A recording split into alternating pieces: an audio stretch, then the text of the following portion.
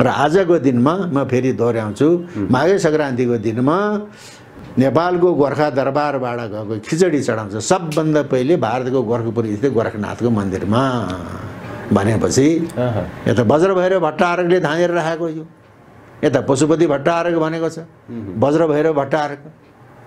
त्यही पशुपतिको उग्रो रूप हो वज्रभैरव भट्टारक।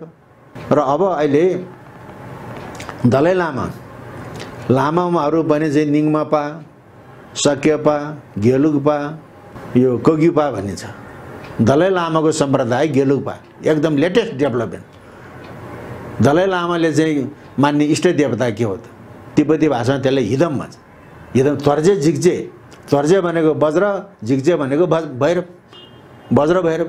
दलाई लामाले मान्ने वज्र भैरवको स्थान कहाँ हो त? तिब्बतमा वज्र भैरवको उल्लेख भएको त्यस्तो अभिलेख छ? छैन।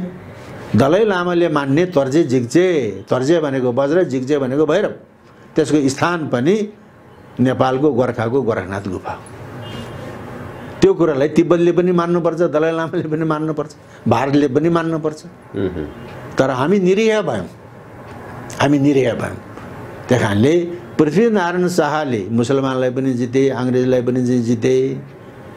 यसले पृथ्वीनारायण शाह नभएको भएदेखि हामी त अहिले एउटा चाहिँ उत्तराखण्ड अथवा बिहार जस्तो प्रान्त हुन्थ्यौँ अहिले अहिले सरकारले परिभाषा गरेको हो नबुझेर किन सबैलाई एउटा एउटा विशेष पर्व भन्ने चाहियो नि।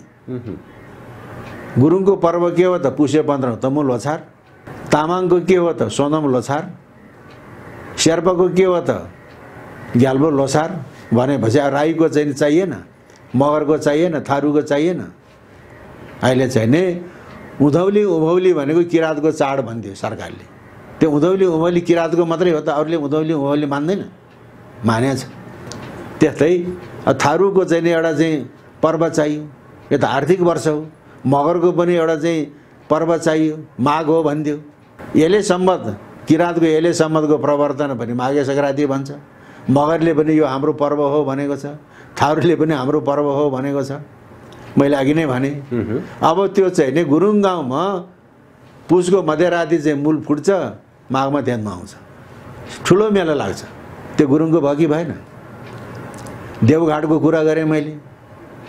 रुरु क्षेत्रको कुरा गरेँ। चाड त सबैले मनाउँछन्।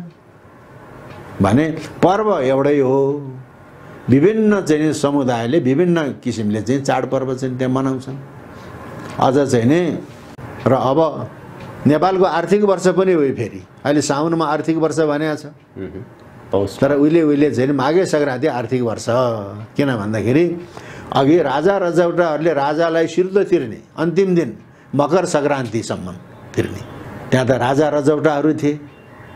रजौटाहरूले राजालाई सिर्दो तिर्ने माघे सङ्क्रान्तिको दिन अन्तिम याद।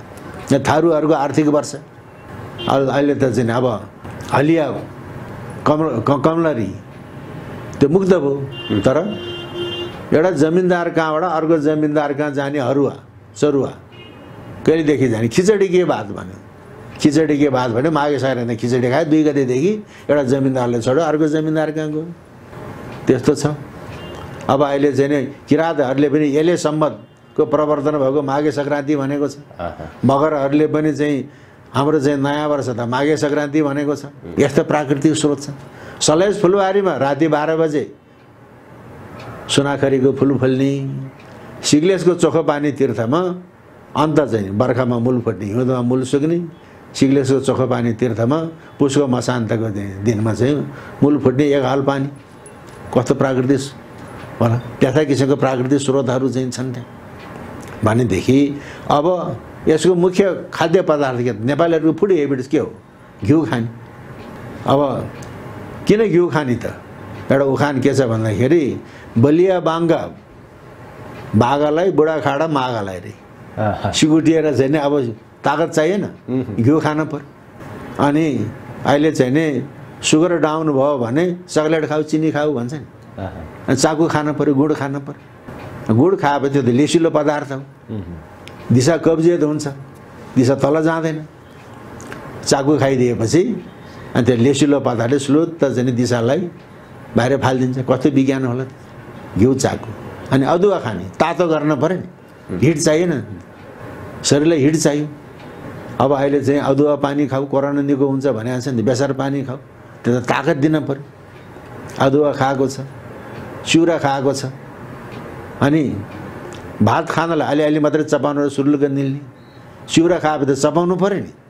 चपाएपछि दाँतको एक्सर्साइज हुन्छ। मकै टोक्दाखेरि दाँतको एक्सर्साइज हुन्छ। यहाँको यहाँको चाहिँ अनि बगुल्ला खाँदाखेरि दाँतको एक्सर्साइज हुन्छ। चिउरा चपाएपछि दाँतको एक्सर्साइज भयो अनि तरुल खाने। तरुल किन खाने? तरुल भनेको पिँडालु भनेको रेसा भएको चाहिँ नि कन्द हो। रेसा भएको कन्द खाएपछि हाम्रा चाहिँ आन्द्रामा अनि भुँडीहरूमा रौँहरू टाँसिएको हुन्छ घाउखटेरहरू आएको हुन्छ। त्यो रेसाले चाहिँ सबै स्वादै सोरेर लान्छ।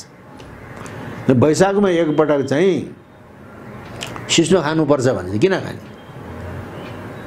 मासु मान्छेले पचाउन सक्छ रौँ पचाउन सक्दैन। रौँ गएर चाहिँ दिशामा चाहिँ जाँदैन। आन्द्रा भुँडीमा टाँसिन्छ।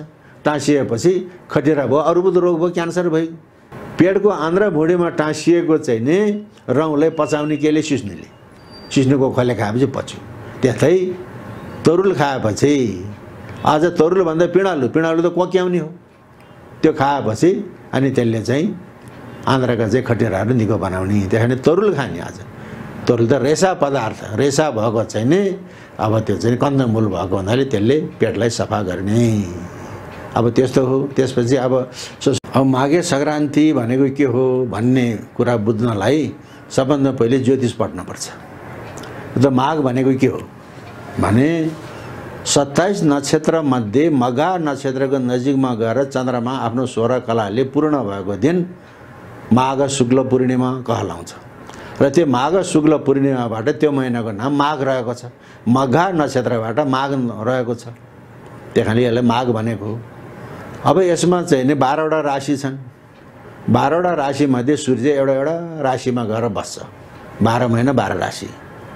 र सूर्यले एउटा राशिबाट अर्को राशिमा सङ्क्रमण गर्ने। सङ्क्रमण भनेको चाहिँ सर्ने दिनलाई सङ्क्रान्ति भन्छ। त्यसलाई अनि माघे सङ्क्रान्ति। अनि फेरि पुष महिनामा धनु राशिमा हुन्छ सूर्य। माघ महिनामा मकर राशिमा हुन्छ। त्यस कारणले माघे सङ्क्रान्ति पनि भन्छ मकर सङ्क्रान्ति पनि भन्छ।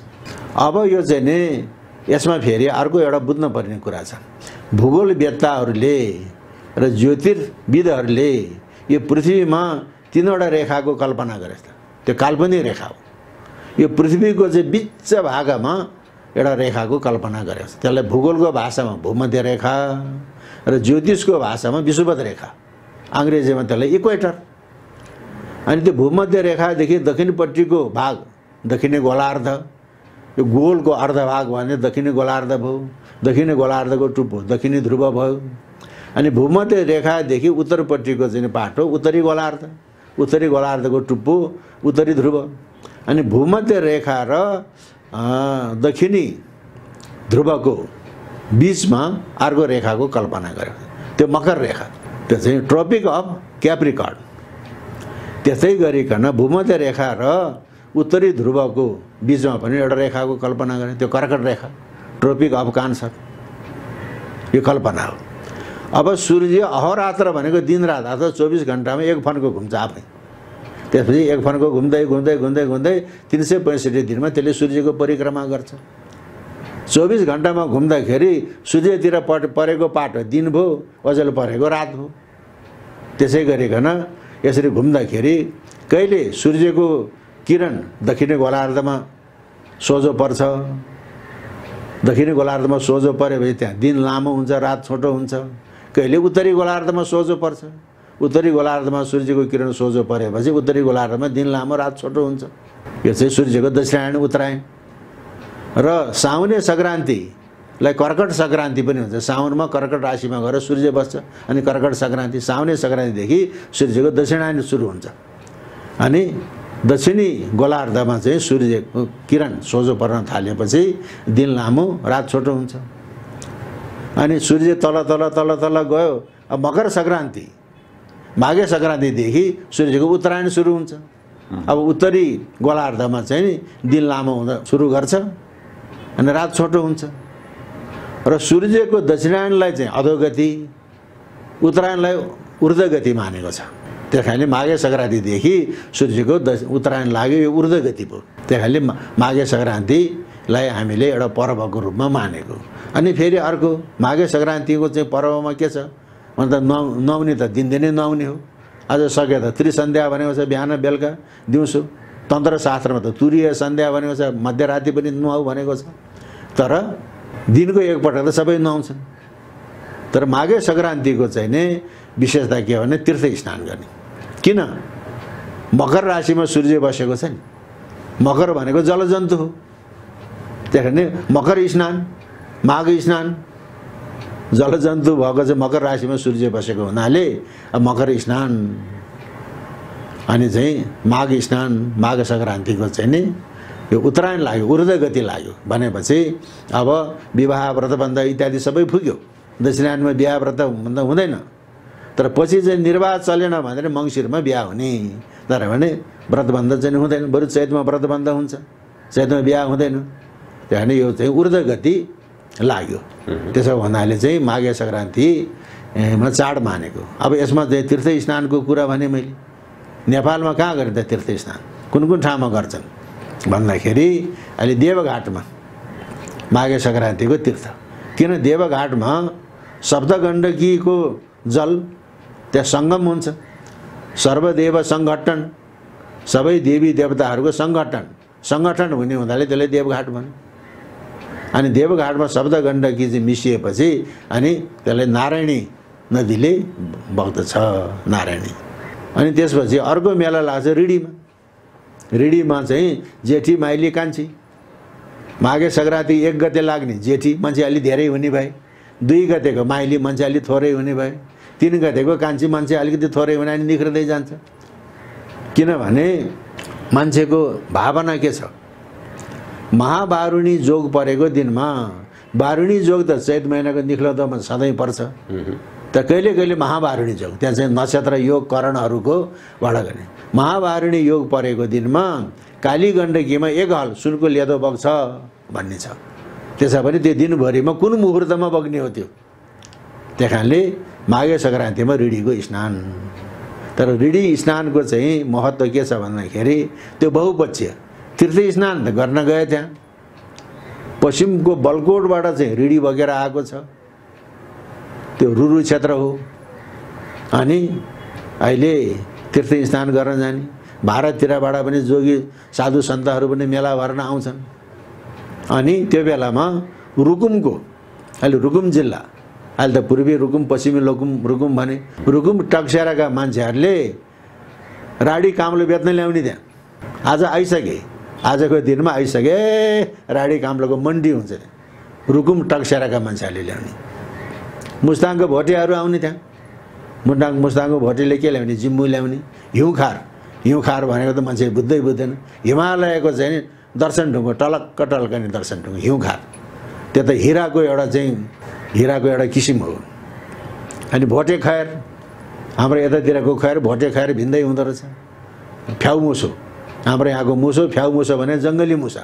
त्यसको बोसो त्यसको बोसो चाहिँ घसिदिएपछि जस्तो किसिमको चाहिँ नि अहिले त क्यान्सर भन्न थाले घाउ खटेरलाई जस्तो घटेर पनि निको बनाइदिए। अनि मुस्ताङको भोटेहरू अनि म्याग्दी बिहानी म्याग्दी बिहानीबाट बाग्लुङ बाग्लुङबाट पूर्तिघाट पूर्तिघाटबाट रिडी रिडीबाट तानसेन बटौली जाने। अनि त्यहाँको सियो धागो किनेर ल्याउने अनि त्यहाँ बेच्ने। मुस्ताङमा उत्पादन हुँदैन सियो धागो। भारतमा उत्पादन हुने। बटौली जाने बटौलीबाट ल्याउने सियो धागो बेच्ने मुस्ताङे भोटे पनि त्यहीँ रुकुम टक्सारेका मान्छे पनि त्यहीँ अनि चारै दिशाका मान्छे त्यहाँ नुहाउन आउने कोही व्यापार गर्न आउने कोही नुहाउन आउने मुस्ताङे भोटे त्यहाँ नुहाउन आउने होइन व्यापार गर्न आएको भन्दाखेरि त्यसले गर्दाखेरि सबैको चाहिँ नै त्यस समन्वय गराएको छ।